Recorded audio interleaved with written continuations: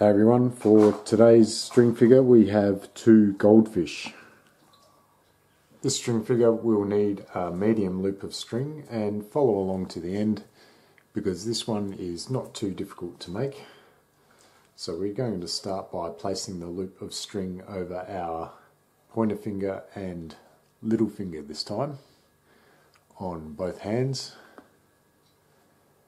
and then we'll pick up this palm string with our middle fingers.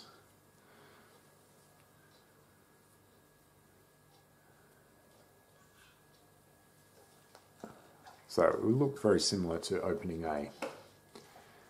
And then I want to collect the far little finger string from underneath with my thumbs. So I'll go underneath all the strings with my thumbs, collect that far little finger string and pull it all the way back. Then with my thumbs I want to collect the far pointer finger string.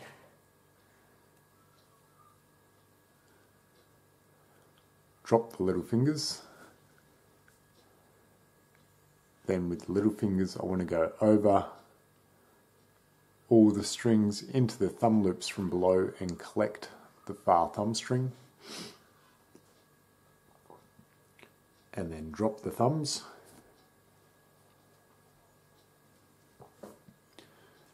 Then I want to take my thumbs over the strings into the little finger loops from below and collect the near little finger string.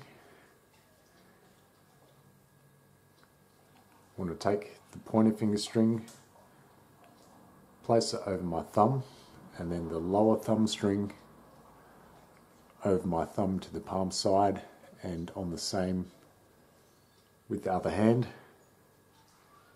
Take the near pointer finger string over the thumb and the lower thumb string to the palm side, then you should notice two little triangles where your thumbs are. Just put your pointer fingers into those triangles. Drop your little fingers and your middle fingers